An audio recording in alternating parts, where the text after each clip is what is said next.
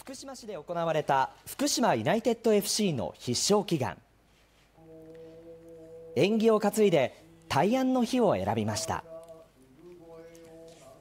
今シーズンからチームを率いる寺田監督や選手などおよそ40人が神事に臨みました。いい必勝祈願になったんじゃないかなというふうに思うんで、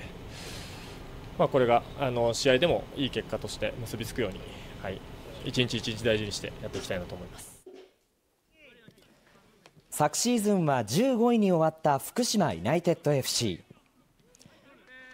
11人の新戦力が加わる今シーズンに目指すのは攻め続けて勝ちにこだわるサッカーです